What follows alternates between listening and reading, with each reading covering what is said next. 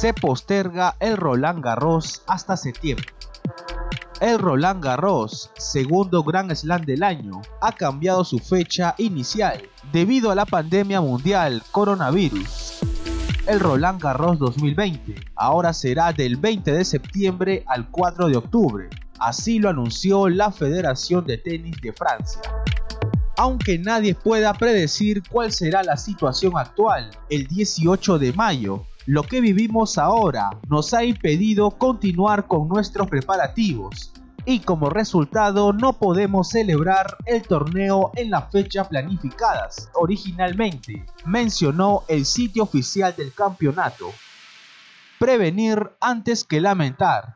Por su parte, Bernard Giudicelli, presidente de la Federación Francesa de Tenis, señaló que hemos tomado una decisión valiente en esta situación sin precedentes, que ha evolucionado mucho desde la semana pasada. Estamos actuando de manera responsable y debemos trabajar juntos en la lucha para garantizar la salud y seguridad de todos. Recordamos que las construcciones que se están realizando en el complejo fueron paralizadas debido al coronavirus. Los fanáticos del tenis deberán esperar por ver el nuevo techo retráctil del Col Philippe Chatre, el cual ya estaba listo para ser estrenado en los partidos. La obra era necesaria, sobre todo por las condiciones climáticas que posee el país europeo cuando se desarrolla el campeonato.